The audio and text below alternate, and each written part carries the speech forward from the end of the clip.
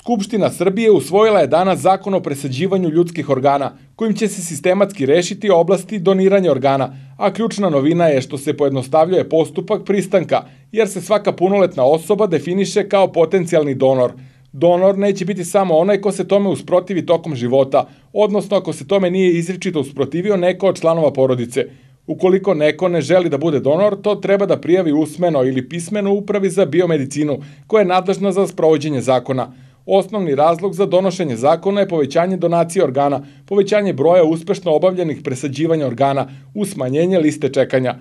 Zakonom se detaljno definišu uslovi za donatorstvo, u koje spadaju poslovi darivanja, dobijanja, testiranja, obrade, očuvanja, skladištenja, distribucije i primene ljudskih ćelija i tkiva od živog ili umrlog – Zakon predviđa i precizno definisanje zdravstvenih institucija i to tako da postoje ustanove za obavljanje poslova presađivanja organa i bolnica za darivanje organa.